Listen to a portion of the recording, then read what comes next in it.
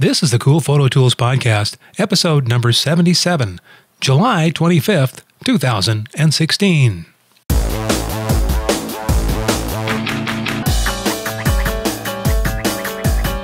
Are you sick of trying to learn all the new photo software? Are you tired of hearing about the next big thing in photography? Well, neither are we.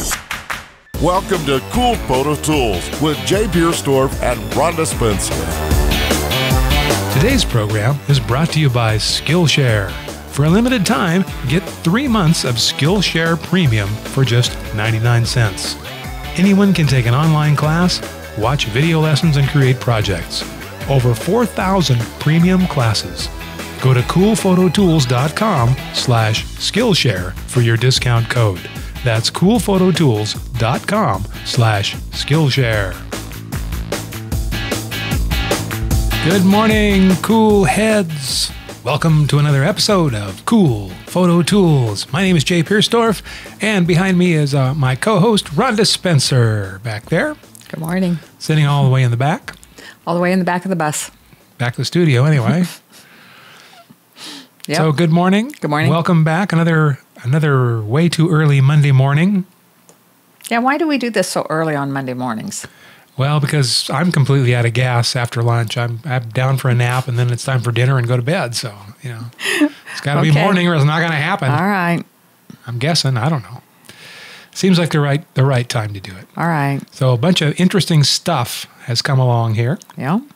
and the thing that uh, that got my attention today, and this is not this is something that isn't actually new. So, but this might be new. Um, you know, if you're a newer photographer, you haven't been around a while. Uh, this is a company called LifePixel. They're at lifepixel.com, and they do infrared conversions to cameras. So, how does this work? Well, if you have a let's usually this happens when you have a you know you buy a new camera and then you have a second camera or maybe a third camera body that you're not really using much anymore, you might consider having it converted to shoot into the infrared spectrum. Now, the infrared spectrum uh, gives you a whole bunch of creative possibilities that you wouldn't have had otherwise. And what they do is they go in and they um, they take your camera apart. You you pay you pay money. Uh, it's usually it's it's around two seventy five to three hundred fifty, depending on what camera you have, what model, and you um, you send it to them, and then they open it up, and they there is a an infrared filter that sits in front of the digital sensor, and that's because digital sensors are sensitive to infrared light, but the human eye is not. We don't see infrared light at all.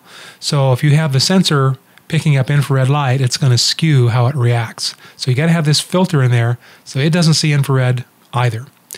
So what they do in, at LifePixel is they remove this and they cut it right off from in front of the sensor. They take it off of there, and then they replace it with a different filter that allows infrared light to pass. Now there's a number of different variations that you can get. So you pick what flavor of infrared that you want to pass to the sensor, and then this camera becomes an infrared only camera. So it's sensitive to infrared light as well as infrared. I'm sorry, infrared as well as visible. So I'm just going to show some of the pictures here from their website. Uh, some of the things that you can uh, do with an infrared adapted camera. You can make some very dramatic black and white shots, but you can also make some color shots that are, um, well, how shall we say, they are false colors. And you might see the, the sky is a dark blue, but the foliage is, is no longer green. It's, it's either green or red. Uh, sometimes, depending on how you treat it in Photoshop, or sometimes the sky is blue, the, the foliage is white, and the uh, and the trees are gray. So there's a very unique special effects can be done with um, these type of images. So that's this. It's kind of a way to, uh, if you like special effects, you know, or, or to pre-visualize a scene or to show a scene that looks different uh, and something that not just any photographer is going to be able to replicate. They're they're going to have to uh, use a modified camera to get this special effect. You can't do this in Photoshop.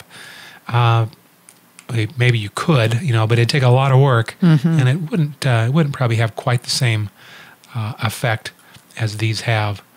So this is a, a reason to do this. Now, I have um, I have a camera that I have modified this, and it's a lot of fun.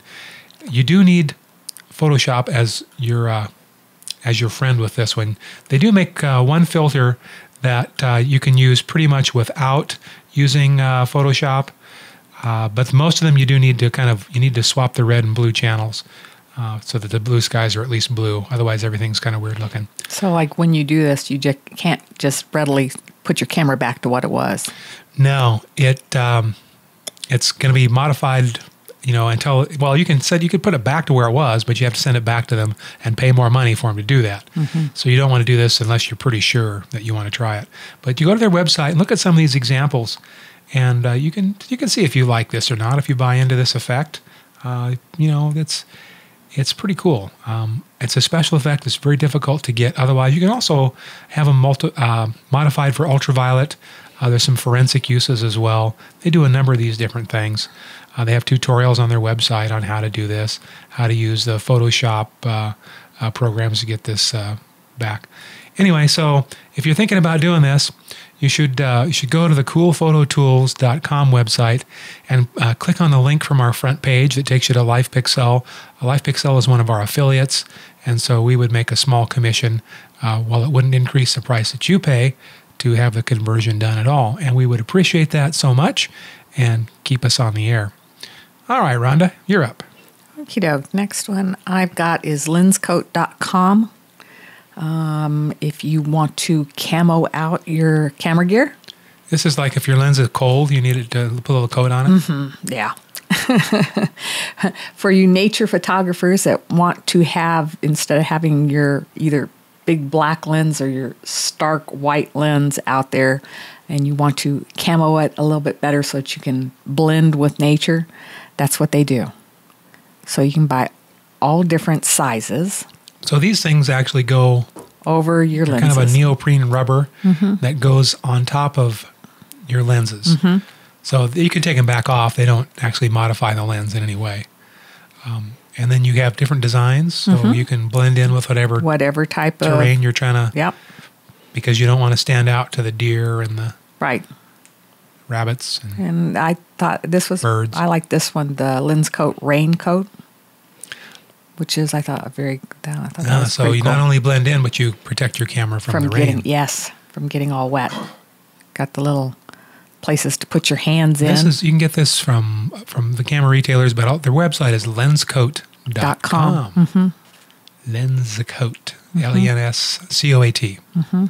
How much do these things cost? You know, Actually, for they're not that expensive for these that are the raincoats, which I think is a really good idea. Uh-huh. Um, one twenty nine or one twenty four ninety nine. okay, yeah, so it's a little cheaper one. Um, Standard for one here for ninety nine. Yeah, All right. I like how they have it so that you actually have a place to put your hands. Though there's the big thing that you usually find So your hands stay dry as you're working the controls, and you're not dripping into the into the camera. into the yeah, camera. does make a That difference. pretty well made. Yeah. Yeah, If yeah. you do a little weather photography, I notice they also make these that fit on tripod legs too. Mm-hmm. So that yeah. they kind of at least the top part of the leg so they give you a little more disguise. Yeah, blend in. So maybe you're not seen as well. I thought that was pretty interesting, though. So I know you shoot weddings. I do. In fact, you just photographed a wedding last weekend or something like that. A couple of weeks ago, yeah. Well, this next story comes to us from petapixel.com, and they did a nice coverage of it. And this is where a, um, a, f- a wedding photographer captured the groom's trip to the hospital after a rattlesnake bite. Well, you know, I mean, a rattlesnake interrupts the uh, the pre-bridal portraits there, or the bridal Yeah. portraits right after the. I think it was, was just before the wedding. Maybe it was after the wedding and before the reception. I don't. I can't remember. But anyway, so the this is uh, the photographer is Maddie Mae, M A D D I I E. think it was just before the reception because they said that everybody stood and gave him a standing ovation when he showed up for the reception. Okay. All right. Good. So this this actually can be a pretty serious deal, being bitten by a rattlesnake. And you know we we're familiar with rattlesnakes Mm-hmm. uh, here in the Tucson, Arizona area. We have the Sonoran Desert has a lot of rattlesnakes. We do. But this was in Fort Collins, Colorado, which uh, you don't really think about as being a rattlesnake uh, populated area. And the place that she took this portrait was about 40 feet off the parking lot. So it's not like they were hiking through the wilderness. So this is kind of like, really? You know, I mean, when your number's That could up, happen in Tucson. when your number's up to be bitten by a rattlesnake, you just can't do much about it. So anyway, to make a long story short, um, uh, this is uh, we're we're looking at the uh, some of the pictures that she took here during the. Um, so this is um, uh, it says here that a young rattlesnake jumped out onto the path and bit Johnny on the ankle while we were taking a couple photos before the reception.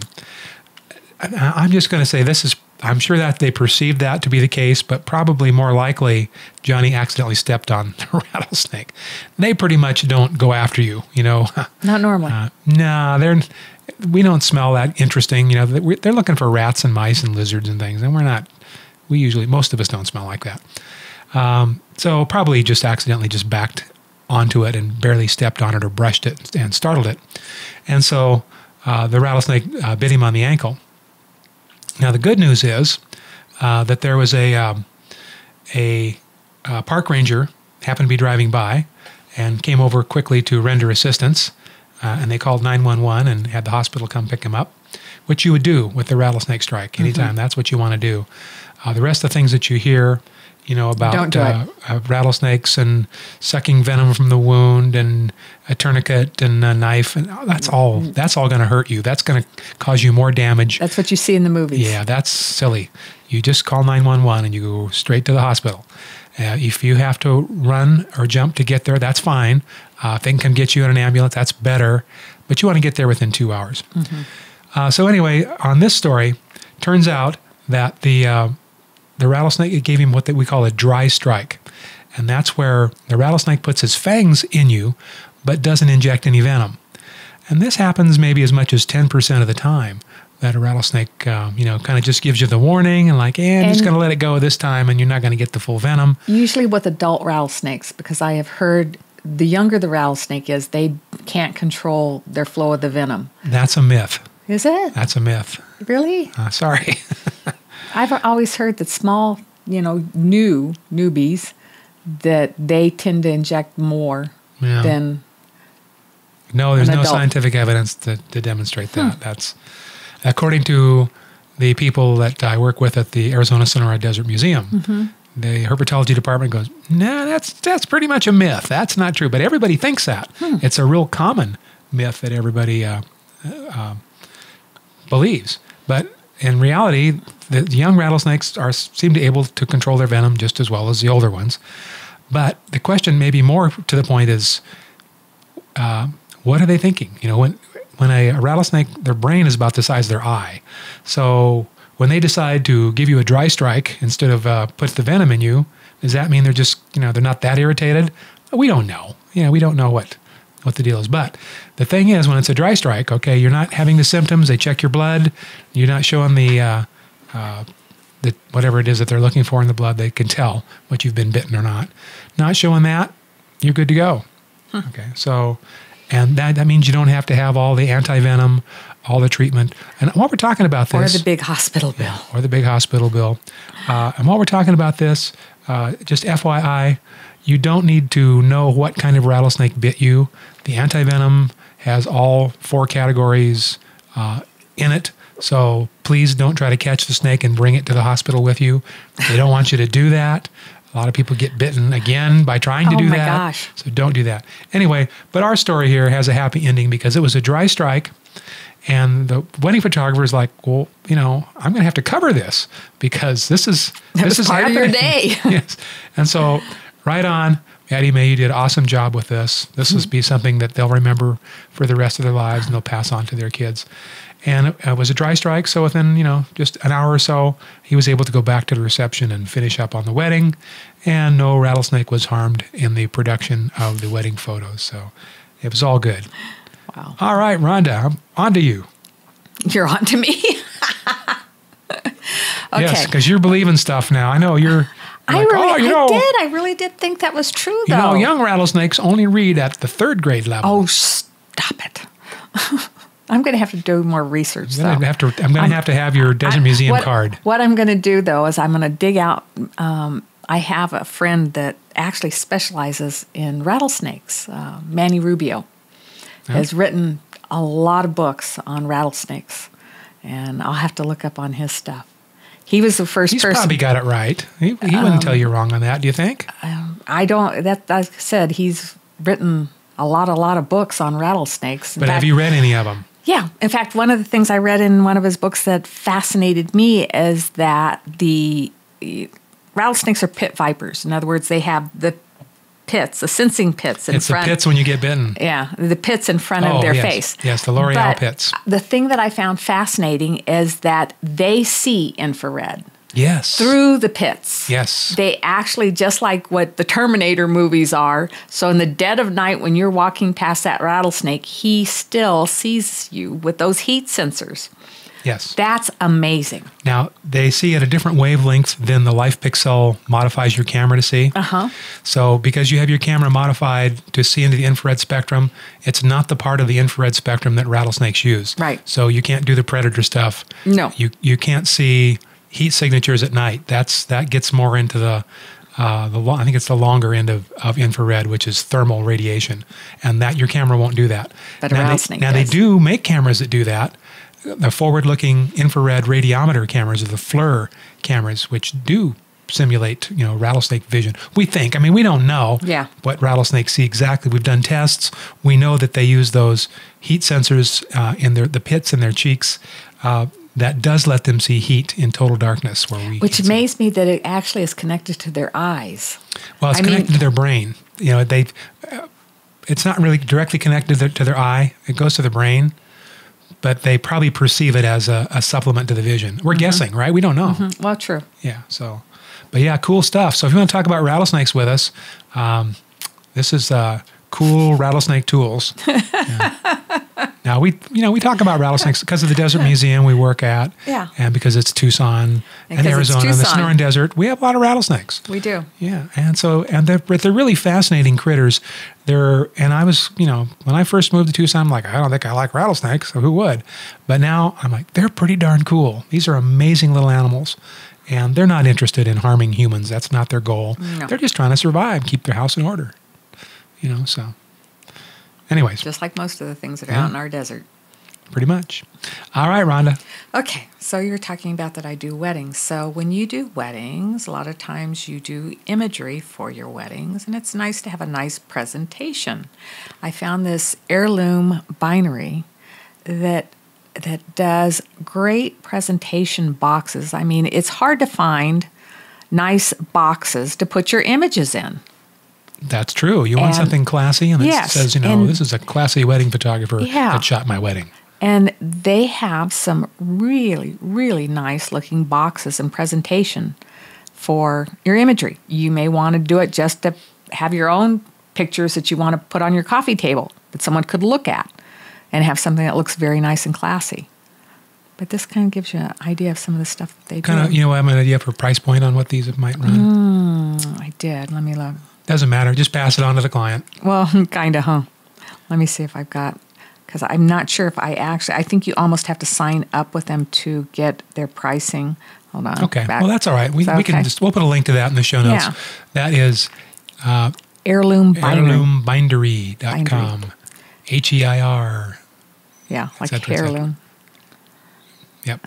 Except it's H as well. I guess it depends on what part of the desert you're from. That's true. Are you going to pronounce that or not? That's true. Let's look. I'm going to look at their shop to see what I can Okay. find. Well, Rhonda's out. doing that. I'm Well, going to jump ahead looking. here, and I'm going to tell you about a new Photoshop plugin. Well, new to me. Uh, this is um, here. This is one called Aquarella Watercolor. So this takes a, uh, it simulates the uh, taking your photo and making it into a watercolor uh, type of uh, effect. And this is available for both Mac and Windows. And price is right, nineteen ninety nine. And these guys make some other interesting plugins, but I think this one looked the most fun to me. It looked like the it looked the most realistic. You know, sometimes you want to make a watercolor type um, effect. This would be a nice way to do it. This comes from jixipix.com. That's J I X I P I X.com. Aquarella watercolor. All right, are you ready yet, one? Uh, No, I didn't find it. So Rhonda, are you ready yet? Just washed my tongue I can't do a thing with it. I didn't find it. But, oh well, so we're moving on have to, to the sign next. up. Okay, that's all right. Let's move ahead. So Profoto B2 Ah, the Profoto B2 Air Photo stuff is- TTL to go kit. the Profoto B2 Air TTL. So this is a this is a kit. studio flash It kind of thing. Except Well, it looks like you could use it outside. It is. It's meant to be portable so that you can go outside and carry it around with you in a pack. Um, not cheap, not cheap, but uh, it looks Uh, like it's it's pretty good, and it's Just a shade under two thousand Yeah. bucks for the, the starter Yeah. system here. yeah, which is the the the flash head, the uh, battery charger, the carry bag, and the power pack. Mm-hmm. Yeah, but TTL, so through the lens, Through the uh, lens. metering. Um, of course, if you could spend two thousand bucks on a flash unit, you probably could shoot manual too. I'm just saying. Mm, probably true, probably true.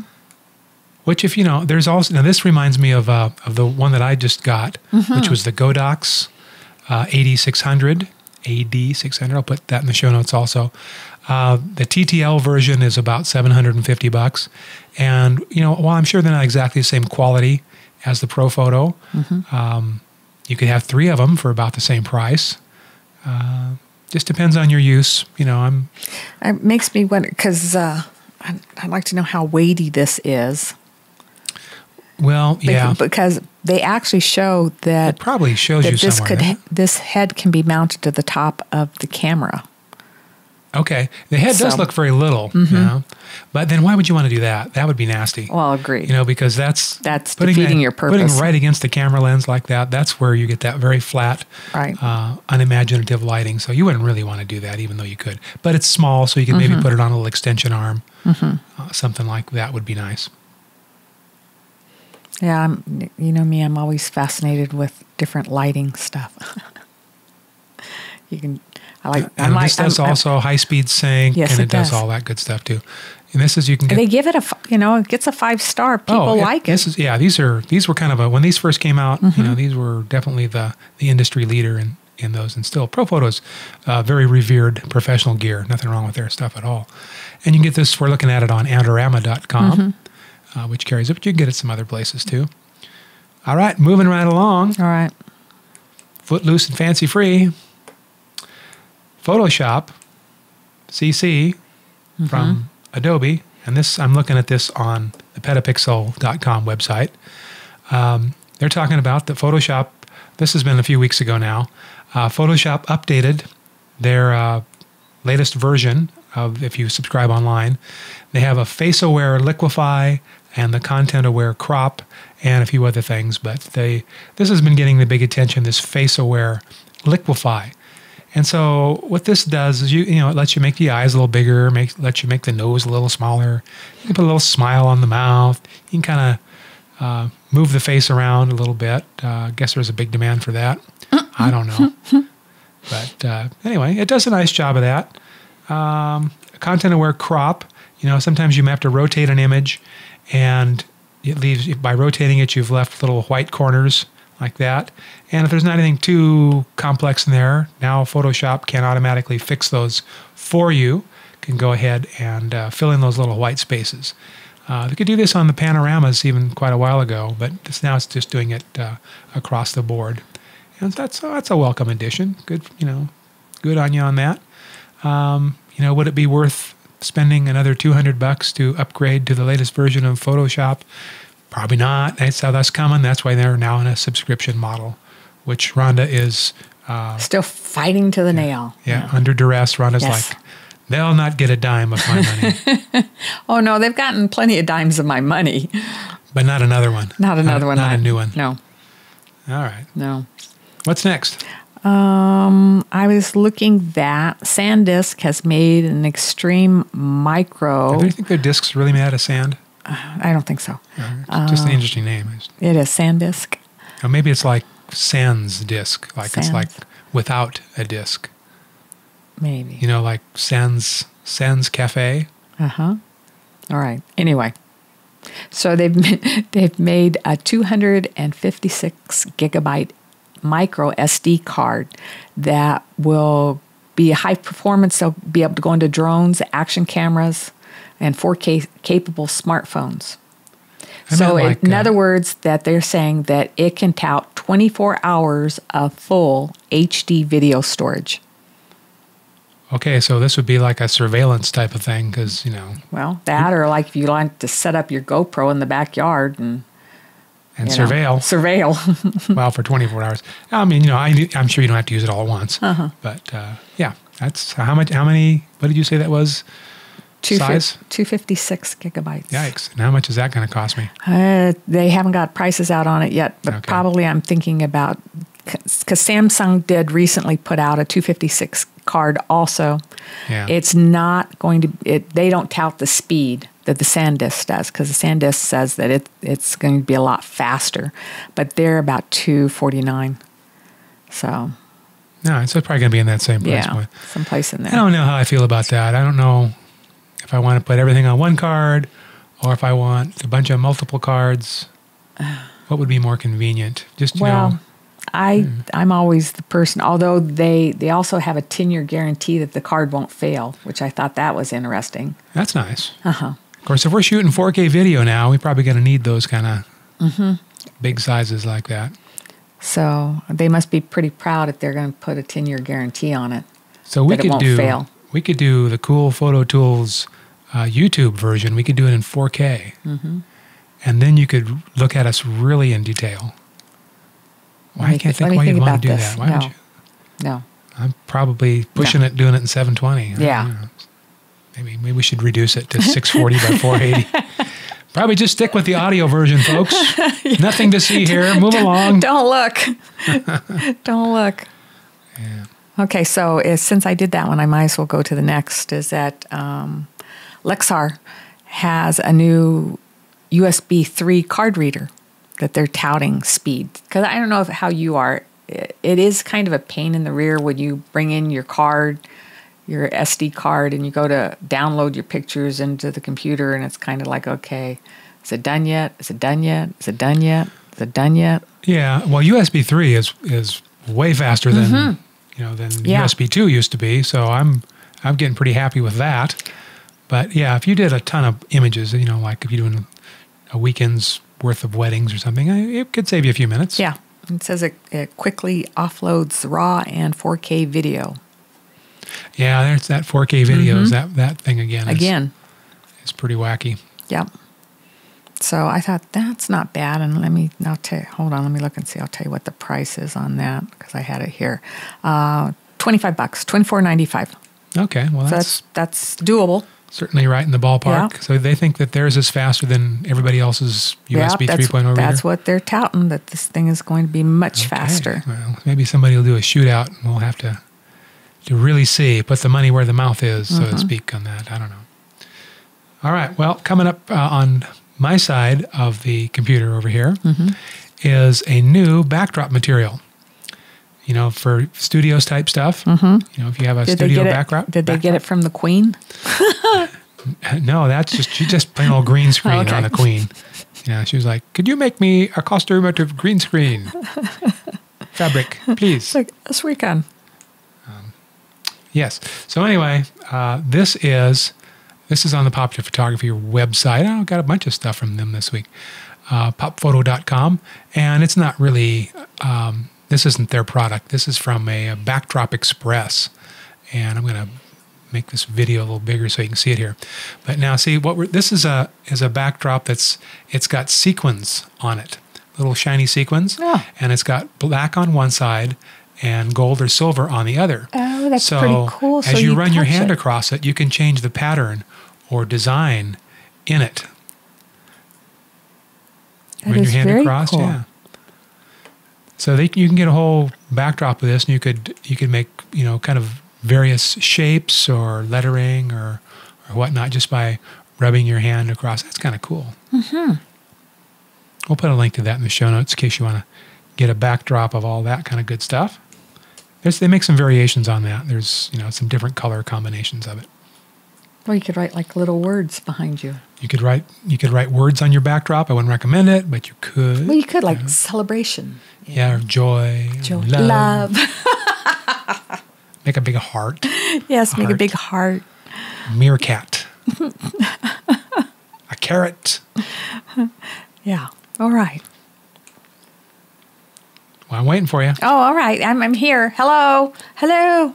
So this is the Wonder Pana Free Arc XL for, and this, it comes for other cameras, but this is for the Canon 1124 F lens. So what it is, I was hoping you were going to tell me because that didn't is. tell me anything. I know it's a rotating filter holder for an ultra wide lens.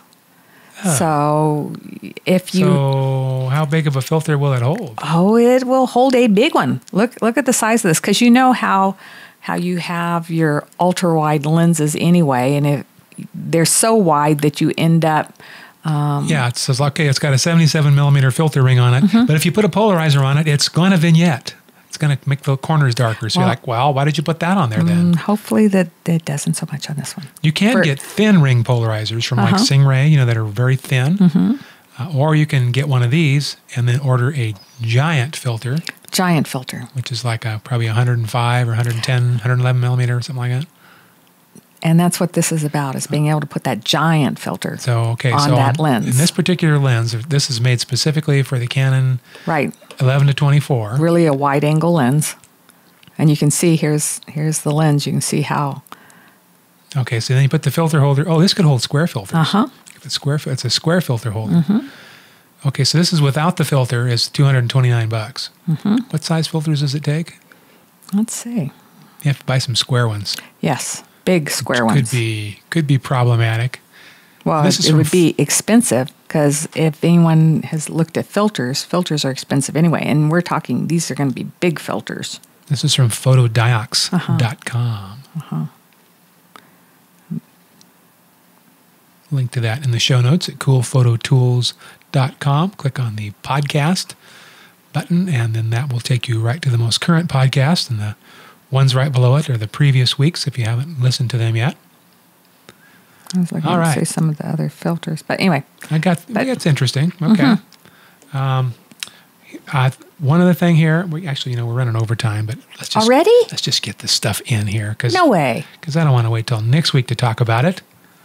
All right, so um, let's see. Here's a here's an article from Petapixel. We'll go through these kind of quick, um, and this is uh, an article about uh, beauty portraits that show how Hollywood beauty has changed since 1920.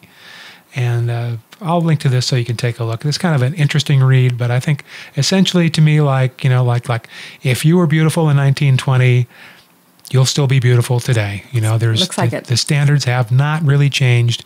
Beauty is pretty much about symmetry. Mm-hmm. You know, if you one side of your face is the same size as the other size, then you can fall into that beauty category. All right, you got anything else, or you want me to just keep going real fast here? I don't care. Go ahead. Okay. So the next one coming up here, real quick. This is from photojojo.com. And these are camera straps made from seat belts. No right? way. Yeah. The, and people that, that don't wear seat belts have donated these to make camera straps out of. I'm just kidding. Just kidding. Don't write me. just kidding. Uh, seat belts, you know, I'm sure they had these made specially as camera straps because we all do wear our seat belts in our cars. Um, so, yes, we do. Yes. Uh, so this is not a new idea. You know, I've got a guitar strap that's made from a seat belt. Really? Yeah, that's probably 20 years old. Uh, and it has the buckle on it, which is kind of cool. You know, you can strap your guitar on you and it snaps on there. Where anyway, so this these don't have the buckle. This is so you know these these need to go back for the buckle. But other than that, I'm no, okay you with don't. it. You don't want to buckle. You don't want to where you could accidentally undo it and have your camera go flying off. Well, yes, but you know you'd have to push that button. But I know. I'm just saying. Right? Somebody would push the button. There goes the camera. All right. So these are from Photo Jojo. They're about 20 bucks, come in some different colors. These look like fun. All right. Uh, I think that's about all I have. Rhonda, do you have uh, Um, anything else you want to take us out on? Yes, if it'll ever display. Hold on, it's thinking. This is a new Lensbaby. It's the Twist 60. I like how it looks. Pretty sure we talked about these in a No, we didn't talk about episode, this one. we? Are no, I sure? don't think so. I don't think we talked about this one, did Okay, I? maybe it was just on the blog, but I've seen that this isn't that well. This has been out for a couple months. I know, but I like But how it looks. Are you going to get one? No. Well, it's actually it's, it's not badly priced No, it's not. for you know for some of these things. Mm-hmm. All right, so go ahead and tell us. I, I just I like how it looks. It has a little bit different look of it than I. The thing I don't like about the Lensbabies is they do the one thing I'm always trying to do. I'm always trying to keep my subject in focus, and I think most Lensbabies are to make your subject out of focus, and I have problems with that. But this one actually looks. I like how it handles light. See how like the light flares that you're seeing? They're coming out through these pictures. Okay, so what what is the thought on this lens? The the Twist 60, Yes. which um, Freeze your subjects from their background on the frame with a delicious, twisty, swirly blur. okay, so, this is kind of one of those uh, uh, modeled on the um the old style lenses that they used to use on view cameras that were very simple. They only had just a couple lens elements, and so this is uh, um, it gives you a very shallow depth of field, and the out of focus areas take on kind of a unique, um, what they call a swirling bokeh. Mm-hmm. Okay, and that's they're about two hundred and eighty bucks. yeah, 279 Okay.